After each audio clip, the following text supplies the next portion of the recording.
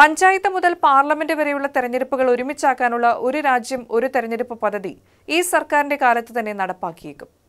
രണ്ടായിരത്തി ഇരുപത്തിയൊൻപത് ലോക്സഭാ തെരഞ്ഞെടുപ്പിനൊപ്പം നിയമസഭാ തെരഞ്ഞെടുപ്പുകളും നടത്തണമെന്നതാണ് സർക്കാരിന്റെ താൽപര്യം.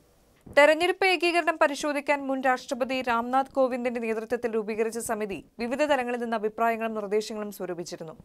ഇതിൽ ഭൂരിപക്ഷവും പുതിയ നീക്കത്തെ പിന്തുണയ്ക്കുന്നതാണെന്നാണ് കേന്ദ്ര സർക്കാർ വ്യക്തമാക്കിയത്.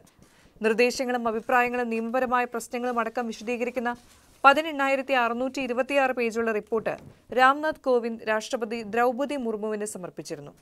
രാംനാഥ് കോവിന്ദ് സമിതിക്ക് മുന്നിലെത്തിയ നാൽപ്പത്തേഴ് രാഷ്ട്രീയ കക്ഷികളിൽ മുപ്പത്തിരണ്ടും തെരഞ്ഞെടുപ്പ് ഏകീകരണത്തെ പിന്തുണച്ചു.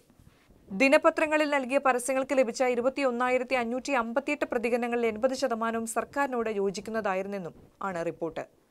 നാല് മുൻ ചീഫ് ജസ്റ്റിസുമാർ പന്ത്രണ്ട് മുൻ ഹൈക്കോടതി ചീഫ് ജസ്റ്റിസുമാർ നാല് മുൻ ചീഫ് ഇലക്ഷൻ കമ്മീഷണർമാർ തുടങ്ങിയവരടക്കം നിയമവിദഗ്ധരുടെ അഭിപ്രായം തേടിയിരുന്നു.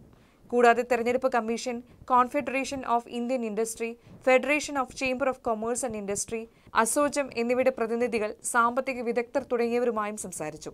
തുടർച്ചയായി തെരഞ്ഞെടുപ്പുകൾ സാമ്പത്തിക വളർച്ചയ്ക്കും സാമൂഹിക സൗഹാർദ്ദത്തിനും തിരിച്ചടിയുണ്ടാക്കുന്നെന്നും ചെലവ് ഉയർത്തുന്നുവെന്നുമുള്ള അഭിപ്രായമാണ് ഇവരും പങ്കുവച്ചത്. ആദ്യഘട്ടത്തിൽ ലോക്സഭാ നിയമസഭാ തെരഞ്ഞെടുപ്പുകൾ ഒന്നിച്ചാക്കുക.